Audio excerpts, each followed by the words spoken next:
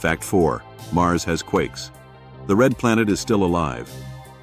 For years, scientists believed Mars was a quiet, frozen desert, a dead planet. But they were wrong.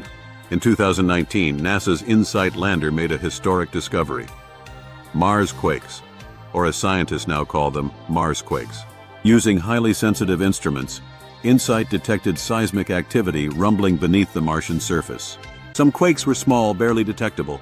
Others were strong enough to shake the entire lander. In fact, InSight recorded more than 300 Mars quakes, some occurring twice a day. That's right, Mars isn't sleeping, it's trembling. These quakes reveal something crucial. Mars still has internal heat. It still has movement below its crust. It's not geologically dead, just less active than Earth.